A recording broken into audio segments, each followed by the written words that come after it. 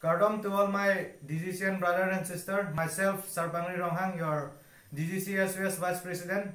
I request all the students of DGC to come forward and take part in the 40 uh, in the 44th DGCSS Annual College Week.